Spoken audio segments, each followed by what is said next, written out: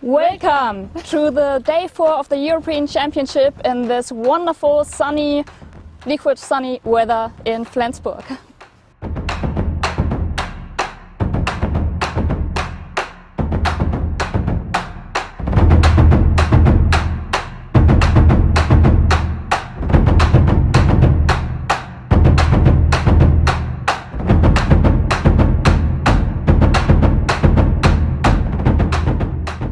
As yesterday, I'm trying to talk to you through a little bit of, of the tacticians I've seen out on the race course.